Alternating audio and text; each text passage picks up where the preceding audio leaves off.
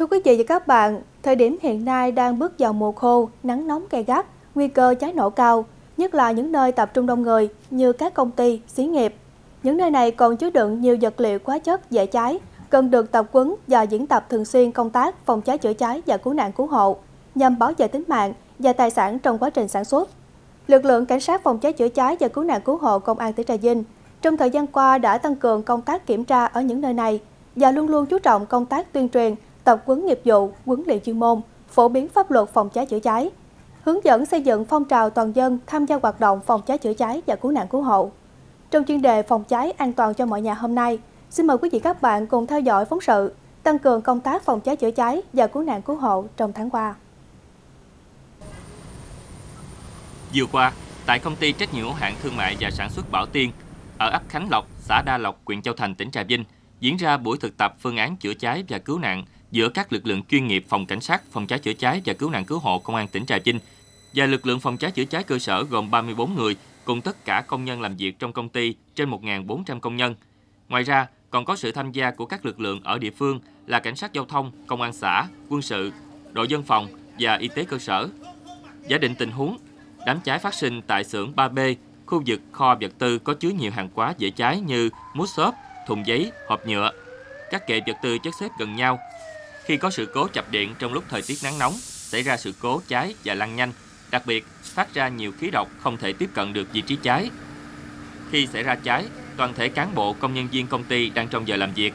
Đội phòng cháy chữa cháy cơ sở lập tức xác định vị trí, quy mô đám cháy, nhanh chóng cúp điện và báo cho toàn bộ nhân viên ở cơ sở qua các phương tiện thông tin nội bộ, hệ thống báo động chuông,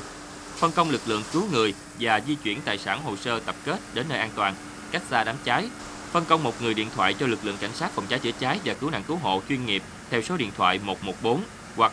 02943 840 220.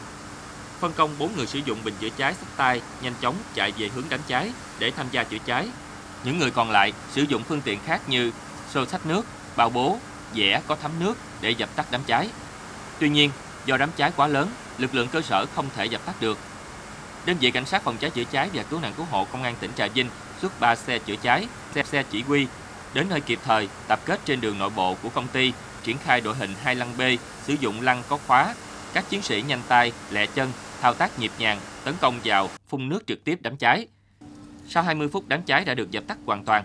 Buổi diễn tập nhằm rèn luyện cho lực lượng phòng cháy chữa cháy cơ sở nâng cao trình độ chữa cháy, nhạy bén trong thao tác, sử dụng thành thạo trang thiết bị, phương tiện chữa cháy cũng như xử lý tốt các tình huống khi có cháy nổ xảy ra, giúp cho công tác chữa cháy kịp thời, hạn chế thiệt hại về người và tài sản ở mức thấp nhất. Về phía lực lượng cảnh sát phòng cháy chữa cháy và cứu nạn cứu hộ chuyên nghiệp, đây là dịp không ngừng nâng cao chiến thuật, kỹ thuật chữa cháy để có được sự phối hợp nhịp nhàng. Qua đây, với sự chứng kiến và tập luyện của nhiều công nhân trong việc cứu nạn cứu hộ và di chuyển sơ tán người và tài sản ra khỏi khu vực nguy hiểm cháy nổ trong trường hợp đám cháy lớn và đông người. Đây cũng là dịp tuyên truyền sâu rộng trong nhân dân, nâng cao ý thức công tác phòng cháy chữa cháy và cứu nạn cứu hộ, góp phần giữ gìn an ninh trật tự tại địa phương. Qua buổi thực tập hôm nay thì ờ, nằm nâng cao cái ý thức ờ, của công nhân viên cũng như là cán bộ của công ty ờ, ý thức về cái an toàn phòng cháy chữa cháy.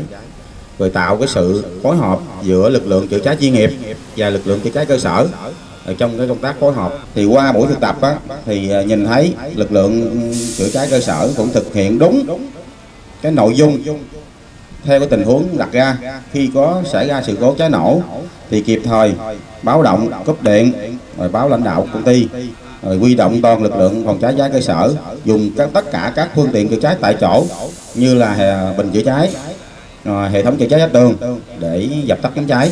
Trong quá trình dập tắt đám cháy thì ưu tiên chúng ta ưu tiên cứu người, di chuyển tài sản nhân dân. Thì nhìn chung với lực lượng cơ sở thì thực hiện là công tác này là rất ừ, tốt. Từ ngày 2 đến ngày 8 tháng 12 năm 2023 Phòng An toàn và Môi trường của công ty nhiệt điện Duyên Hải kết hợp với các đơn vị chuyên môn về an toàn vệ sinh lao động tổ chức khóa huấn luyện chuyên môn và cấp chứng nhận đạt kỹ năng bơi lặn nhằm mục đích phòng chống tai nạn đuối nước cứu nạn cứu hộ kịp thời khi có người bị đuối nước xảy ra trong quá trình công tác trên biển. Trong ngành điện, vấn đề an toàn lúc nào cũng được đưa lên à, quan tâm hàng đầu, tổ chức rất nhiều cái chương trình huấn luyện đào tạo liên quan về an toàn cho người lao động. Và trong quá trình làm việc thì à, có một số công việc có làm việc có liên quan tới ờ, mặt nước là huấn luyện an toàn làm việc trên sông nước và cấp chứng chỉ bơi lội cho người lao động có làm việc liên quan. Người lao động ờ, hưởng ứng rất nhiệt tình. Khóa huấn luyện lần này có trên 140 học viên tham gia, đa phần là những công nhân viên làm việc ngoài cầu cảng nước sâu, cách bờ trên 1 km. Với những công việc vận chuyển than đá từ tàu có tải trọng lớn cập cảng và di chuyển vào nhà máy phục vụ cho việc vận hành của nhà máy nhiệt điện. Công đoạn này thường hoạt động liên tục ngày đêm trên sóng nước lên đên. Người công nhân cần phải biết kỹ năng bơi lặn cao cũng như nhiều cách cứu người bị đuối nước để thao tác thật nhanh lẹ kịp lúc. Với những dụng cụ sẵn có như dây thừng, cây sào, phao cứu sinh, các học viên được chuyên gia truyền đạt nhiều kỹ năng bơi lặn như bơi ếch, bơi trường sắp, trường ngửa để người thả nổi trên mặt nước và đặc biệt là cách thoát hiểm trong môi trường nước. Các thầy dạy rất là bổ ích, nhiều kỹ thuật mới giúp cho môi trường làm việc của sông nước trở nên không quá nguy hiểm mấy. Lúc mà chưa học bơi thì tôi thấy nước rất là sợ, không dám đến gần. Và khi đã biết bơi thì tôi thấy bản thân mình tự tin hơn khi đối mặt với nó. Trong quá trình học thì à, mình biết thêm nữa là cách cứu người bị nạn và cấp sơ cứu khi người gặp nạn đuối nước. Rất mong được à, lãnh đạo à, cấp công ty tạo điều kiện cho cán bộ công nhân viên hàng năm được tham gia khóa huấn luyện bơi lội. Vừa qua, Phòng Cảnh sát Phòng cháy chữa cháy và Cứu nạn Cứu hộ phối hợp với các trường tiểu học và trung học trên địa bàn thành phố Trà Vinh thực hiện chương trình trải nghiệm cho các em học sinh tại đơn vị Phòng Cảnh sát Phòng cháy chữa cháy và Cứu nạn Cứu hộ Công an tỉnh Trà Vinh nhằm mục đích tuyên truyền, xây dựng hình ảnh đẹp về người chiến sĩ công an nhân dân nói chung, lực lượng cảnh sát phòng cháy chữa cháy và cứu nạn cứu hộ nói riêng. Qua đó, góp phần định hướng nghề nghiệp cho các em trong tương lai. Thực hiện tốt công tác tuyên truyền kỹ năng thoát hiểm khi gặp sự cố cháy nổ, nhất là những nơi đông người, cần bình tĩnh lựa chọn nhiều cách thoát hiểm để được an toàn tính mạng. Đây là cơ hội để các em khám phá trải nghiệm với thực tế, chứng kiến những kỹ năng của người lính cứu hỏa chuyên nghiệp trong lúc làm nhiệm vụ. Thật nhiều nguy hiểm, nhưng với tinh thần hăng say, đầy nhiệt quyết vượt qua nhiều trở ngại để chiến thắng với giặc lửa một cách nhanh lẹ và an toàn.